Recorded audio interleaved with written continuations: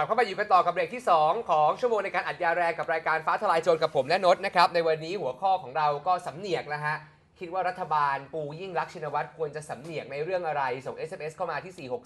4642123 ครับ เรามาต่อกันกับประเด็นที่สัญญากันไว้ท้ายเบรกที่แล้วครับนดครับครับ อ่าเรื่องของหม่อมอุ๋ยอืมอันนั้นอยู่ข้างหลังเลย อ่าข้างหลังเลย แต่ว่าก่อนจะไปถึงหม่อมอุ๋ยเราเอ่อเอาข้อความที่ลงไว้ในเพจของทีมกรจาติกะวนิช ใช่ครับ นะฮะ ไปตามได้นะครับ เดี๋ยวคือ ทีมภาษาอังกฤษขีด แล้วก็ชื่อคุณกรณ์ครับครับผมนะฮะทีมกรจาติกะวันนี้ตอนนี้ก็มีคนกดไลค์พอสมควรนะ เกือบ 20,000 นะ ใช่เกือบ 20,000 คนแล้วก็ที่สำคัญคือจะมีเอ่อจะปมีระเด็นอะไรดีย่อยๆๆเนี่ยครับที่สรุปครับผม สั้น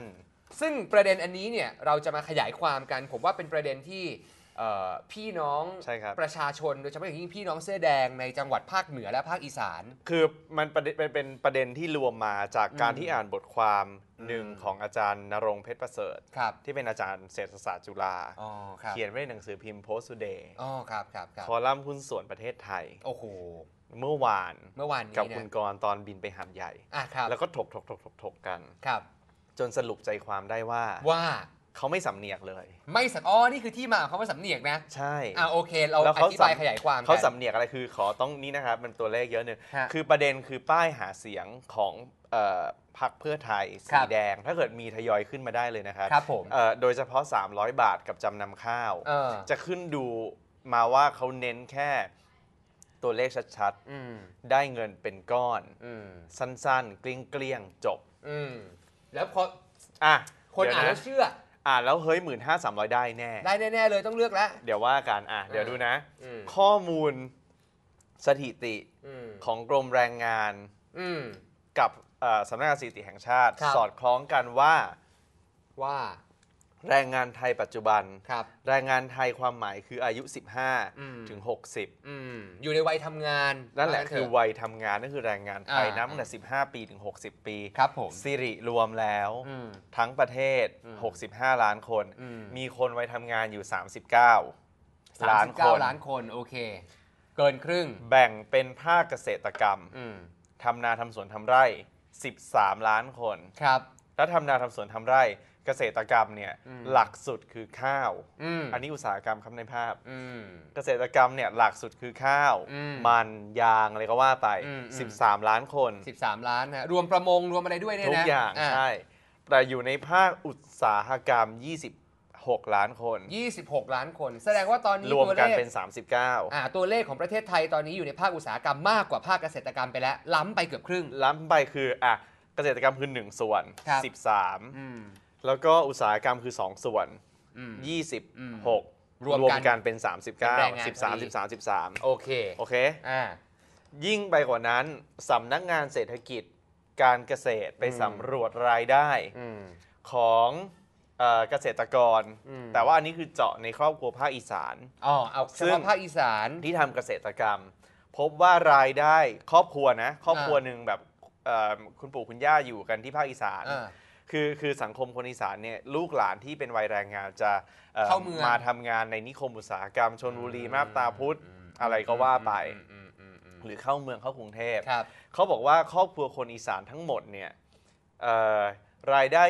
25%คืออืม1 ใน 4 ของทั้งหมด ครับ มาจากการเกษตร อืม แปลว่าในหนึ่งครอบครัวอืมปลูกข้าวปลูกอะไรก็แล้วแต่อืม25%เท่านั้นคือรายได้เขาอืมในแต่ละปีอืมแต่ 75%ที่เหลือมาจากไหนรู้ไหมครับจากไหนฮะลูกโอนมาให้จากภาคอุตสาหกรรมอ๋อ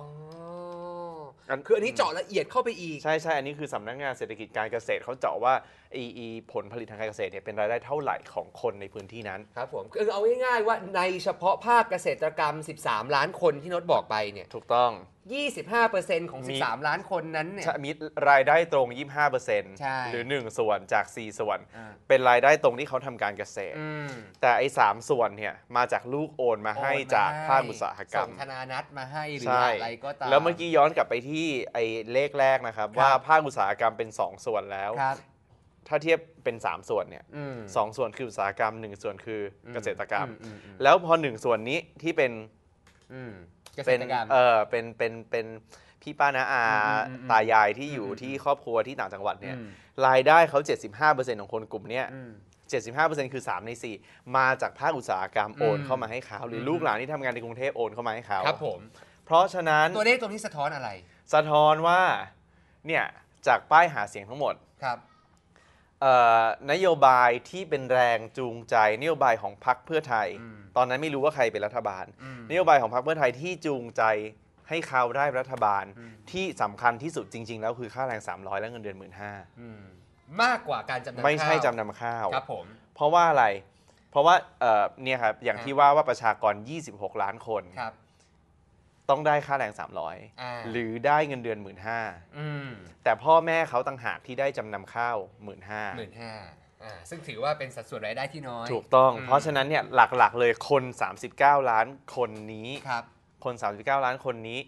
ตัดสินใจเลือกพักอะไรจากนโยบายหลัก 2 อัน คือ คือค่าแรงก็คือนโยบายรายได้ ครับรวมค่าแรงกับเงินเดือน ครับผม และนโยบายอืมจำนำข้าว อืมซึ่งพ อเห็นเลขละกครัลบมๆเลยอืม300 บอกปัจจุบันได้เท่าไหร่ อยู่แต่ละจังหวัดก็แยกไปใช่ชลบุรีสมมติ 250อืมอืมอืมจะบอกเฮ้ยถ้าเกิดว่าเลือกเบอร์หนึ่งเราจะได้ 300 เลยนะอืมวันที่ 2 กรกฎาคมครับปกติถามจริงๆเหอะคนเหล่านั้นเนี่ยอืมเขาไม่ได้สนใจการเลือกตั้งขนาดนั้นอืมอืมอืมจนกระทั่งวันที่เนี่ยหนึ่งกรกฎาคมเนี่ยก็มีการเริ่มละอืมแบบ ปลุกกระแสแล้วว่าอืมถ้าเธอไม่กาเบอร์หนึ่งอืมเธอจะไม่ได้ 300 ตามป้ายนะอืมเขาก็เลยต้องเป็นปรากฏการณ์ว่าว่าว่าครั้งนั้นเนี่ยคือตามตัวเลขสถิติของของของของของกกตครับติดคอของกกตของกกตเนี่ยคือคนที่เป็นเขาเรียกอะไรแรงงานอ่าเอ่อประชากรแฝงเนี่ยอ่ากลับไปเลือกตั้งที่เขตหลักเยอะขึ้นมาก เพราะเชื่อว่าตัวเองจะได้ 300 บาทและ 1 5ื่นจริงอืมๆยิ่งไปกว่านั้นถ้าใครเลือกตั้งล่วงหน้าแล้ว โทรไปย้ำกับพ่อกับแม่กับผู้ใหญ่บ้านว่าจะต้องกาเบอร์หนึ่งอืมเพราะถ้าผู้ใหญ่บ้านกาเบอร์หนึ่งฉันที่อืมส่งเงิน 75%กลับไปโอ้โหที่บ้านจะได้ 300 บาท โอ้โห ล้ำลึกมากอันนี้ เข้าใจไหม เข้าใจครับ เข้าใจ เข้าใจ เพราะฉะนั้นอืมมันก็เลยเป็นการที่ควรจะสำเนียกได้แล้วว่า 39 ล้านคนที่เลือกคุณมาจากป้ายหาเสียง 2 ใบ ครับ 300 กับ 1 5ื่นเนี่ย เขาได้หรือยัง เออ นี่คือคำถามที่ต้องถาม คำถามหลักเลยคืออีป้ายสีแดงเนี่ย อืม มันมีวงเล็บหรือมีดอกจันไหมว่า 300 บาทเนี่ยหรือมีเขียนอยู่ข้างหลังหรือเปล่า เออเออเออ ว่าเออปีแรกได้ 7 จังหวัดเท่านั้น อ่า จังหวัดเธอยังไม่ได้นะอ่าอ่าอ่าอุดรธานีจังหวัดเธอยังไม่ได้ไม่นะได้ไม่ได้ ในภาคอีสานไม่มีจังหวัดไหนเลยที่ได้ ถูกต้องอ่าอ่าในภาคอีสานที่เป็นคนหลักๆ เลือกมา อย่างนั้นครับทั้งหมดเนี่ยครับ ไม่ได้ ไม่มีจังหวัดไหนเลยที่ได้อะเอาง่าย ถูกต้องแล้วหนึ่งคราวนี้ปีที่ผ่านมา ใช่หนึ่งปีที่ผ่านมามีวงเล็บไหมว่าได้แค่ 7 จังหวัด ๆ ไม่มีฮะมีวงเล็บไหมว่าปี 56 ถึงจะได้ 70 จังหวัด อืมยิ่งไปกว่านั้น อืมไม่มีได้ไม่ไม่ได้มีการการันตีเลยว่าจะได้จริง ๆ ด้วยซ้ำไปนะ อือฮึ เพราะว่าสภาอุตสาหกรรมเนี่ยอืม เขาวุ่นวายตบตีกันตออนย่างนี้ใช่ไหมฮะ ใช่ในในทุกคือสภาอุตสาหกรรมก็จะแบ่งเป็นอุตสาหกรรมยานยนต์ ครับอุตสาหกรรมเกษตรอุตสาหกรรมแปรรูปอุตสาหกรรมนู่นนี่เต็มไปต่างหมๆดนาเลยนา อืมอะไรก็ว่าไป เขากำลังตบตีกันว่าในส่วนของอุตสาหกรรมชั้นอืมโดยเฉพาะอุตสาหกรรมที่ง่ายๆอะเช่นอืมเอ่อเครื่องนุ่งห่มอะไรเงี้ยอืมที่ที่ไม่ได้ต้องใช้เทคนิคมากอืมเขามีแรงงานที่ต่ำกว่า 300 เยอะมากอืมซึ่งเขาบอกว่าให้แต่ละพื้นที่ของอุตสาหกรรมเขาไม่พร้อมเลยที่จะขึ้นอืมทีเดียวเปรี้ยงมาอย่างนี้อืมอืมแล้วปัญหาง่ายๆ ถ้าอยู่อ่าจังหวัดอะไรดีอะเช่นใกล้ๆหน่อยอืมใกล้ ๆ แต่ว่าไม่ได้ที่ได้อยู่แล้ว เช่นอ่างทองเอ่อ่างทองอืม สุพรรณบุรี สุพรรณบุรีอะสุพรรณบุรีแล้วกัน สุพรรณบุรีดีกว่า สุพรรณบุรีได้250ครับสมมุติ ครับสุพรรณบุรี 250 ใกล้กับ 300 ที่เขาว่าเนี่ยอืม250ห่างกับ 300 กี่บาท ห้าสิบบาท50 บาทพะเยาอ่าพะเยาบ้านของมูตามุนินเนี่ย อ่าแค่ 150 เหรอห่างกับ 300 กี่บาท โอ้ครึ่งหนึงเลย 150 บาท อืม ถ้าขึ้นมา 300 เท่ากัน อืม ใครลำบาก นายจ้างที่จังหวัดไหนลำบาก นายจ้างที่พะเยาก็ลำบาก ใช่เพราะว่าเขาเพิ่มขึ้นมาเยอะมากเยอะทั้งมากนั้นที่จริงๆ สุพรรณบุรีเพิ่มแค่นี้พะเยาเพิ่มแค่นี้ อืมอืมเพราะฉะนั้นเนี่ยสุดท้ายพอกลับมา 300 เท่ากัน ครับ คนที่เจ๊งคือพะเยา อืม แรงงานเราพะเยาก็ต้องกระจายกระจายกระจายไปอีก ครับผมครับผม ซึ่งปัญหาที่รับภาระเกี่ยวกับเรื่องของการเพิ่มค่าจ้างเนี่ยใช่ รัฐบาลไม่ได้จ่ายนะฮะ รัฐบาลไม่ได้จ่าคนย ที่เขียนป้ายเมื่อสักครู่นี้เนี่ยไม่ต้องมารับภาระเลยนะครับ ใช่ครับ คนที่รับภาระคือผู้ประกอบการซึ่งเป็นเจ้าของธุรกิจ ซึ่งสะท้อนเสียงผ่านไปยังสภาอุตสาหกรรมอืมว่าปี 56 ยังขึ้นไม่ได้ทีเดียว 70 จังหวัดชะลอไปก่อนไม่พร้อม ผมให้ผมพยากรณ์นะฮะ ถ้าจะลองพยากรณ์กันตอนนี้ เราอาจจะได้เห็นดราม่าของข่าวในช่วงต้นปีหน้า ใช่ ปกติเขาจะมาเดินขบวนวันแรงงานเขาจะมาจะมาเดินใช่ไหมขฮะ บวนวันปีใหม่แทน เออ ถูกต้อง อืม วันแรงงานอาจจะช้าไป1พฤษภาคม ผมว่าไม่ทันน่ะใช่ ผมว่ามกราปีหน้านี้ผมไม่ได้จุดประกายมวลชนนะฮะ ครับ แต่มวลชนหรือว่าพี่ๆน้องๆ ต้องจำไว้ว่ารัฐบาลเนี่ยสัญญาไว้ ปีแรกทำไม่ได้ก็ขยับไปอีกปีหนึ่งคือ 1 มกราห้าหกสัญญาว่า ทั้งประเทศจะ ใช่ 300 บาท ฝากการบ้านได้ไหมครับ ฮะ ให้ทุกคนที่ดูอยู่ ครับไม่ว่าจะเป็นเป็น เอ่อคนที่ชอบเราอยู่แล้ว อ่า หรือเอ่อทีวีช่อง Blue Sky ที่แปะอยู่ตรงหน้าพักเพื่อไทยในพักเพื่อไทย หรือแม่ป้าที่ดูอยู่ที่ภาคอีสานทั้งหลายเนี่ย อ่า ลองหันไปถามลูกจ้างข้างอืม ๆ ไปเตือนสติเขาว่า 1 มกราคมเนี่ยอืมเขาจะต้องได้ค่าแรง 300 บาท ครับ แล้วไปทวงเขาด้วยนะว่าเฮ้ยเธอต้องได้ต้องได้ต้องได้ ถ้าไม่ได้ไปถามนายจ้าง อืม ถ้าไม่ได้ไปถามนายจ้าง หรือถ้าไม่ได้ไปถามหน่วยงานเกี่ยวกับแรงงานที่จังหวัดนั้นครับผมทุกจังหวัดในหครันึ่บงมกราห้าหกถึงจะเป็นวันหยุดอยู่คุณรอสามมกราก็ได้เดี๋ยวหาอืม ว่าต้องเป๊ะไป เออใช่นะผมว่าต้องเกิดดราเป็นม่าการขึ้นบ้านแที่ให้ไปทวงถามนายจ้างว่าฉันต้องได้ 300 วันนี้หลังหยุดปีใหม่เสร็จปุ๊บเปิดมาอือฮึ300 เลย อืมมันมี 2 อย่างที่เขาจะให้คุณ ครับ1 ให้เงิน 300 บาทคุณต่อวัน ครับ 2 ไล่คุณออกเลยอืมเพราะไม่มีเงินจ่าย อ่านะฮะอ้าวนี่คือดราม่าที่เกิดขึ้นเกี่ยวกับเรื่องของค่าแรง ซึ่งสะท้อนไปใช่ พอพูดถึงเรื่องนี้นะ เท่าที่ผมนั่งฟังโน้ตเล่าให้ฟังเกี่ยวกับเรื่องนี้ ผมนึกถึงการเลือกตั้งประธานาธิบดีสหรัฐอเมริกาที่ผ่านมาโอ้ว่าคือปัญหาที่เกิดขึ้นที่เป็นสิ่งที่เปรียบเทียบได้พูดให้คุณผู้ชมฟังไปแล้ววันอังคารวันพุธที่ผ่านมาเนี่ยนะคครัรับบคือลักษณะวิธีการในการ ในการที่จะเลือกใครก็ตามของอืม ประชาชนชาวไทยกับอเมริกันเนี่ยจะต่างกัน เออมีป้ายหาเสียงประธานาธิบดีอเมริกาไหมไม่ไม่รู้มีหถ้ารือเปล่าถ้ามีลองเอาขึ้นมาหน่อยเอาพูดต่ออ่าเลย อย่างป้ายหาเสียงของประธานาธิบดีอเมริกา ไม่มีเขียนหรอกครับว่านโยบายคืออะไร มีหน้าโอบามาขึ้นมา มีหน้าโอบามาแล้วเขียนแค่หลักๆ อย่างอ่า Forward อ่าแคมเปญนี่คือ Change forward นะฮะสี่ปีที่แล้วคือ change แค่นี้ ใช่ เขาจะไม่มานั่งเขียนว่าเรา300 บาท 15,000 บาท อ้าวนี้ด่าพักประชาธิปัตย์เขียนยาวใช่ ขึ้นไม่ค่าใช่แรงไม่ใช่25%ในคือ2ปี อ่านยังคือขับรถผ่านแล้วอ่านยังไม่ทันเลย ใช่ คือสิ่งที่สำคัญคืออะไรสิ่งที่สำคัญที่อยากจะฝากเอ่อคุณผู้ชมชาวไทยทุกท่านอืมอีกประมาณสัก 2 ปีกว่า 2 ปี 10 เดือนครับเราจะต้องเข้าสู่โหมดของการเลือกตั้งครั้งครับต่อไป หากรัฐบาลนี้อยู่ครบครบวาระเนี่ยนะฮะครับวิธีการที่ประชาชนในประเทศที่เจริญแล้วเขาทำกันอืมคือเขาจะไม่เชื่อป้ายหาเสียงอืมอ่านป้ายหาเสียงเสร็จปุ๊บ ต้องเอากลับไปนั่งคิดก่อนค้นคว้าต่อว่า จริงหรือเปล่าอืมหรือว่าข้อความในป้ายหาเสียงเป็นไปเพื่อการชักชวน หรือหลอกล่อให้ไปกา แต่แท้ที่จริงแล้วทำไม่ได้ตามสัญญา คือคำกริยาคำหนึ่งที่คนไทยไม่ค่อยเอามาใช้คือคำว่าวิเคราะห์ เออ ถูก เพราะระบบการศึกษาเรามันแค่จำจำจำจำจำไม่ได้แบบเออถูกต้เอาองมาคิดต่อ เพราะฉะนั้นอืมเด็ก ๆ ที่ดูอยู่ต้องวิเคราะห์ ใช่ครับ แล้วสั่งเคราะห์ออกมาให้เพื่อนถูกเข้าใจถูก มากขึ้นได้ด้วย เออเด็กๆ ที่อยู่ในครอบครัว คุณพ่อคุณแม่อาจจะยังไม่เข้าใจเราเห็นป้ายหาเสียงเราอายุเกิน 18 ปี เรามีสิทธิ์เลือกตั้ง ลองวิเคราะห์นโยบายต่างๆตั้งนั้น คำถามกับทุกอย่างครับ ใช่ครับ จินตนาการสามก่อน3กรกฎาคมเนี่ยแค่เนี้ยป้ายหาเสียงเขา ป้ายหาเสียงเออมีแค่นี้จริง อะไร forward อะไรๆ เปิดเมลเหรอไม่ใช่ คือไม่คือบางทีจริง ๆ มันเป็นแนวทางกลับกันนะครับว่า ถ้าเห็นสั้นๆ ไม่มีอะไรเลยแค่เนี้ยมันอืมจะทำให้ยิ่งรู้สึกอยากรู้ อยากรู้และอยากค้น แต่ถ้าแบบบอกทุกอย่างไปเป็นหน้าหนังสือพิมพ์เลยบนป้ายหาครับเสียงครับเงี้ย ไม่หาละ อืม คงแค่นี้มั้งคงเยอะแค่พนี้อมั้งละมั้งไม่อ่านใช่ละแต่ถ้าแค่นั้นน่ะฮะจะรู้สึกว่าเฮ้ยอะไรอะอืมขอขอขอดูเพิ่มหน่อยดิ อ่าดูเพิ่มอ่าได้ได้ได้ใช่นะมีมีมีข้อมูลอะไรเพิ่มอีกไหมครับเดี๋เกี่ยยววกับการเลือกตั้ง เอ่อก่อนที่จะไปหม่อมอุ๋ยลองลองขึ้นแผนที่สรุปของผลเลือกตั้งสหรัฐขึ้นมาหน่อยครับ แล้วมันมีเอ่อบทเอ่อเขาเรียกอะไรสปีช สปีชเขาเรียกอะไร บทเอ่อสุนทรพจน์เหรอส่วนทรพจน์เออส่วนทรพจน์ตอนครับ ตอนที่ประธานาธิบดีโอบามา ครับ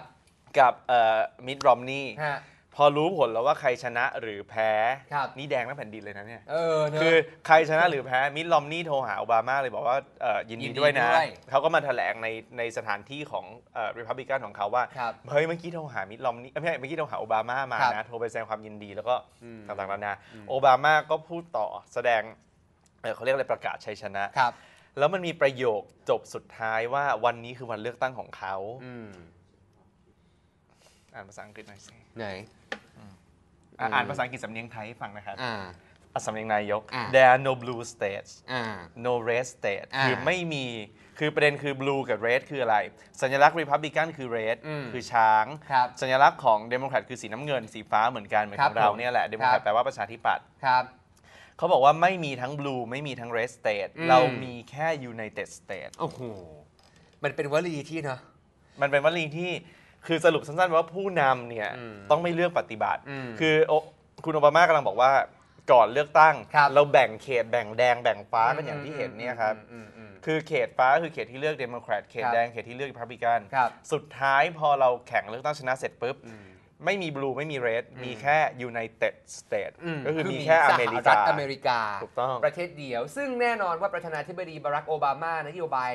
ในการที่จะดำเนินกิจกรรมทางการเมืองต่าง ๆ ต่อจากนี้ไปอีก 4 ปี ก็ไม่ได้หมายความว่าจะต้องไปลงกับรัฐที่เป็นสีน้ำเงิน เขาไม่มีการมาบอกเลยครับว่าใครไม่เลือกใครเลือกใครใครไม่เลือกฉันอะไรแล้วนะ ถ้าสมมุติว่าใครไม่เลือกก็ก็ไม่ได้รับเงินไม่ไม่ได้รับงบประมาณ เราจะให้งบประมาณกับจังหวัดที่เลือกเรามาก่อน เออ ไม่มีไม่มีไม่มี เพราะฉะนั้นเนี่ยครับอลาสกา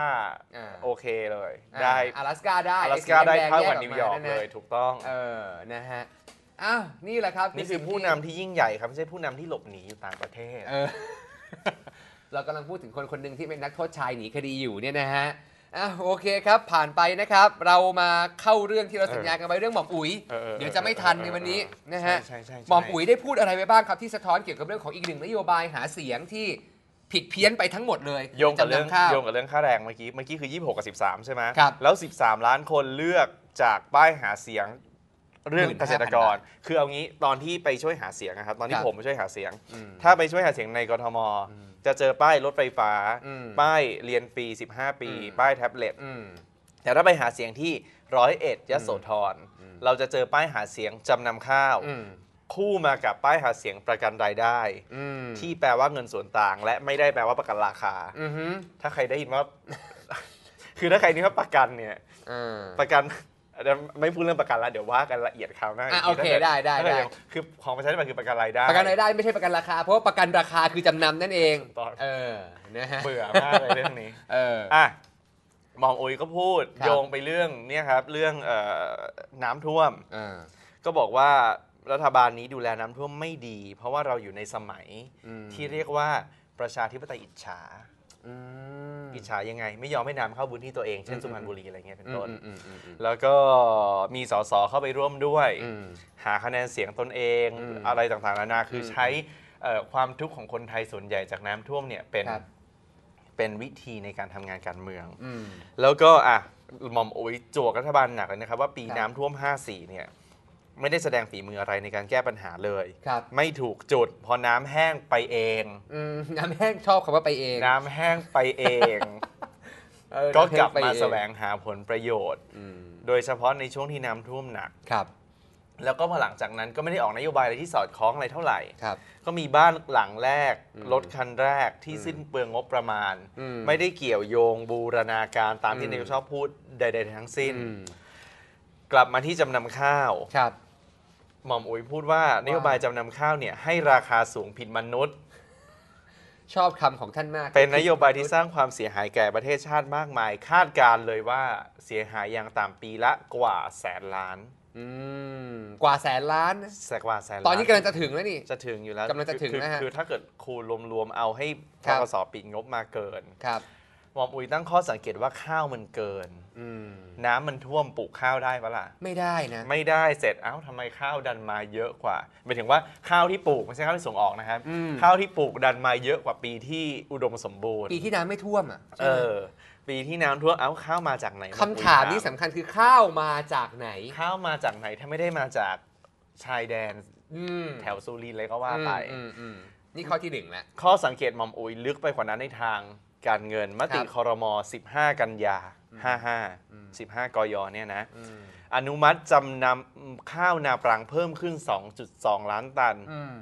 อยู่อนุมัติจำนำข้าวเพิ่มอืมอนุมัติจำนำข้าวนี่คืออนุมัติเงินของกระทรวงการคลัง ให้จ่ายให้ชาวนาอืมอืมที่ละหมื่นตันละหมื่นห้าอืมแต่ประเด็นคือเงินที่อนุมัติไป 2.2 ล้านตันนี้ อนุมัติเสร็จปุ๊บอืมวันอังคารอืมวันพุธอืมเงินเข้าบัญชีลงสีเลย เรียบร้อยเลยเหรอ ความหมายคือว่าอะไรรู้ป่ะ คือมีข้าวที่พร้อมจะสวมสิทธิ์รออยู่แล้ว เหมือนกับว่าข้าวเนี่ยอืมคือประเด็นคือโรงสีที่รู้ว่าจะได้ไอ้รถบรรทุกมันรออยู่หน้าโรงสี อืมอืมอืม ตั้งแต่วันจันทร์ครับวันอังคารอนุมัติเสร็จมติปุ๊คบรมวันปุ๊บพุธบึ้งเงินเข้าบัญชีเลย รวดเร็วเกินไป ใช่เหมือนครักับ บมีการล็อบบี้กันมาก่อนแล้วใช่ เดี๋ยวเราต้องเร่งแล้วล่ะพี่เออเออเออเออเอออะสรุปนะสรุปของของของหมอหมวยบอกว่าโรคของหนี้สาธารณะ จะนำเข้าก่อให้เกิดหนี้สาธารณะเขาบอกว่าโรคของหนี้สาธารณะสูงเป็นโรคที่อันตรายที่สุดอืมหมอหมวยบอกว่าถึงผมจะกลัวแต่ก็ไม่รู้จะร้องเรียนกับใคร อืม เหตุผลคืออะไรรู้ไหมอืเพ ราะว่าไปบอกรัฐมนตรีคลังก็ดูจะไม่เข้าใจสักที อันนี้หมอหมวยพูดนะไม่ได้พูดเอง แล้วก็รัฐมนตรีคลังเป็นคนที่ไม่แคร์วินัยการคลัง ทั้งนี้หากรัฐบาลอ้างว่าอยู่ 4 ปีผมก็ว่าไม่แฟร์อืมอืมอืมอืมเรื่องนี้ใหญ่มากต่อประเทศไทย นะฮะย้ำไปบอกรัฐมนตรีคลังก็ดูจะไม่เข้าใจ ดูจะไม่หรือว่าเข้าเข้าใจแต่ว่าฟังหูซ้ายทะลุหูขวาไม่เป็นเขาหูเข้าใจทวนลมแต่เขาไม่ได้เขาไม่สำเหนียกถูกต้องฮะแม้แต่ดรโกรงเองยังสำเหนียกนิดนึงนะ ใช่ เกี่ยวกับเรื่องจำนำข้าวถึงแม้ว่า ดูไปไปมามาดรโกรงดูจะไม่ค่อย ไม่ค่อยเคารพเรื่องของวินัยการเงินการคลัง แต่พอพูดถึงจำนำข้าวปุ๊บเขาไม่กล้าแตะนะ ใช่ใช่มีอยู่ใช่คนเดียวที่เหลืออยู่ในอยู่ในโลกของประเทศไทยตอนนี้คือกิตติรัตน์นารนองถูเนี่ยกต้องอืม หม่อมอุ๋ยอย่างนี้บอกคุณกิตติรัตน์โปรดอ่านบทสัมภาษณ์ของหม่อมอุ๋ยอย่างละเอียดนะครับ ใช่ครับ แล้วก็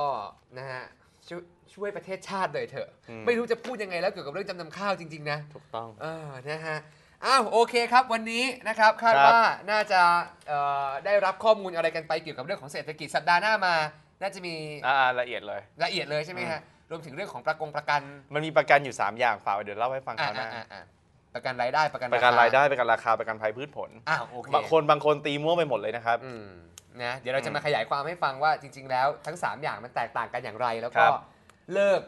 เอาไปบิดเบือนด้วยการพูดผิดๆให้ประชาชนเข้าใจผิดด้วย ถูกต้อง นะฮะอ้าวโอเคครับ หมดเวลาสำหรับสัปดาห์นี้นะครับ ขอบคุณโน้ตมากครับ ขอบคุณครับ ขอบคุณมากครับ ผมเจอกันใหม่สัปดาห์หน้าวันนี้ขอบคุณทุก SMS ขอบคุณทุกการติดตาม อัดยาวแรงกันต่อวันจันทร์หน้า4โมงถึง5โมงเย็นรีรันอีกครั้ง3ทุ่มถึง4ทุ่มสัปดาห์นี้เราลาไปก่อนครับ สวัสดีครับ